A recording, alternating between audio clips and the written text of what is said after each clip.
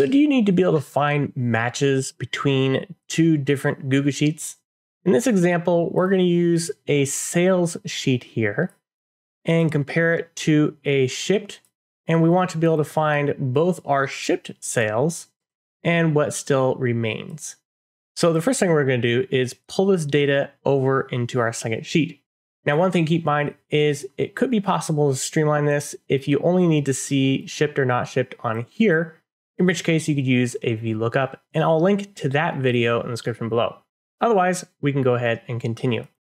So what we're going to do here is we're actually going to bring that data over here in a new tab. We'll just call it data. And I'm going to copy these column headers, come over here. I'm going to do paste values only just to pull that data over here. And then let's go ahead and remove the rest of these columns. So hold down shift, right click, delete columns. So then the way we're going to get this data over here is using an import range. And then inside of import range, the first thing we need is a spreadsheet URL inside double quotes. And so that would just be this. So you can take the whole thing or you can remove this end part if you like. So it's really up to you. We're going to go ahead and do the whole thing and then I'll just delete it over here. So just like that, double quote to close. And then now we need a range string. So range string can be the tab name here. So this would be sales and then the range, which in this case would be A2 through F.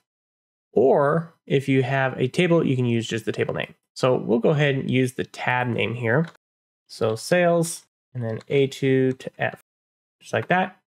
Hit enter. You may see a ref error here. And if you do, it's just because you need to add permissions. And so once you click allow access, then that data will pull through.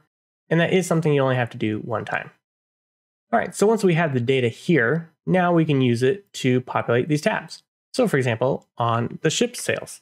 So we're gonna filter this data. And so I need A2 through F. And then I need to match this ID column to our ID column in our shipped. And so the way we would do that is using the match function. And so then again, I'm going to select this first column here. And so you need to make sure the rows match. And so of course we want to start in two. And I'm going to drop that n reference so we have the same on both of these. And then next we're going to go to our shipped tab and we can select that column. And so this is a table, and so it's changing it to table reference, so that's fine. Otherwise, remove that n row reference there. And then to finish out our match function, we're going to use zero because we want an exact match. And so that's pretty simple formula there. And this is going to return all of our shipped sales. So if we look over here, 1001 or 10,001 through 10,008. There we go. And if we look over here, we have 9 and 10. So those should be the ones that show up here on the to be shipped. So how do we populate the inverse? So I'm going to go ahead and copy this formula, come over here and paste this. And then all we need to do is put ISNA in front of this match, hit enter, and there we go. And that basically flips it around and finds everything that does not match. So one thing keep in mind here is that when you populate this filter, we're going to return the data that we're specifying right here. And so, for example, I want to return this data.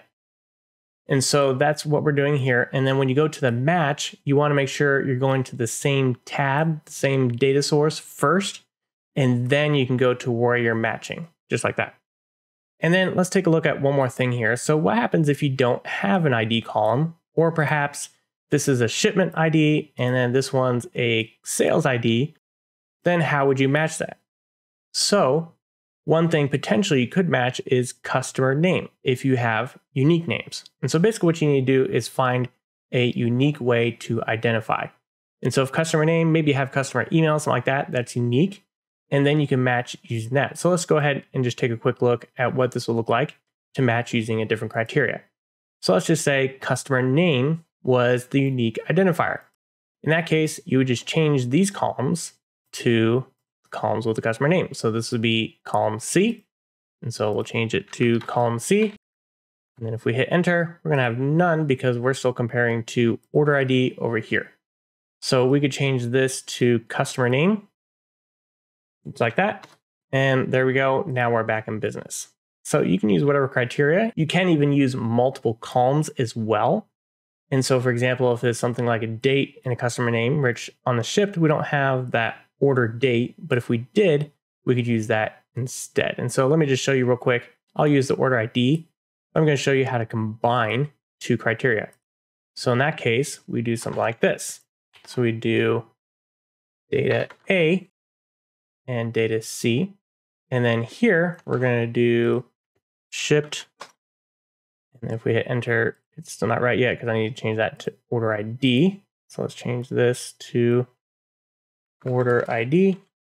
And there we go. Now we're back in business. And so you can use multiple columns if you have to in that match. And you can see what's happening here. It's combining that order ID and the name into one match thing. And it's going to go through and match both those columns and the other one.